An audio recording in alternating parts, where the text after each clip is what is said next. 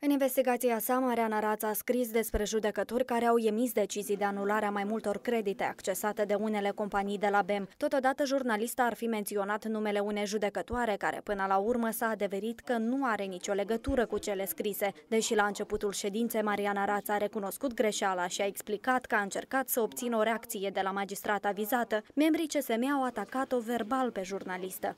Am contactat-o pe doamna Miron de foarte multe ori timp de mai multe zile la rând, la numărul de fix care ne-a fost uh, transmis de către Cancelarea uh, Judecătoriei de la uh, Râșcani. Doamna Miron nu a fost de găsit. Este singurul judecător din această investigație care vizează mai mulți magistrați care nu a putut fi găsit ca să ne confirme sau să ne infirme informația. Eu cred că dumneavoastră n-ați făcut niciun efort în felul ăsta. A telefona la judecată și toți să ocupați, tot în ședință, asta nu înseamnă că s-a rezolvat întrebarea. Dacă n-ați avut o confirmare de la judecător și mai departe, mai degrabă nu prezentați așa informație, deoarece nu ați avut o confirmare. Sunt de acord, dar tocmai că eu am încercat să obțin această încheiere și tocmai problema este că această încheiere nu mi-a fost oferită. Deși în mod normal eu trebuie să o găsesc pe site-ul instanțelor de judecată. Ea trebuia să fie publicată.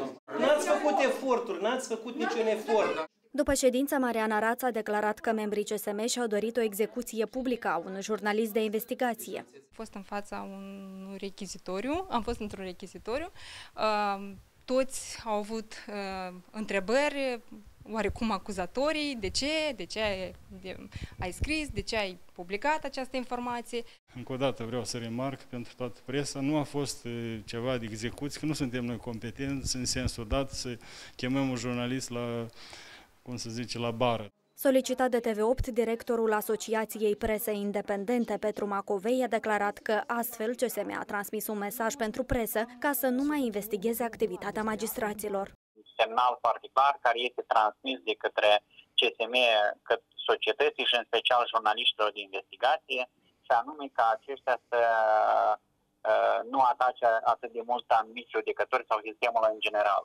După ședința de astăzi, Mariana Rața a rectificat informația referitor la judecătoarea vizată. Jurnalista însă a menționat că nu se va opri aici și va continua să investigheze activitatea judecătorilor.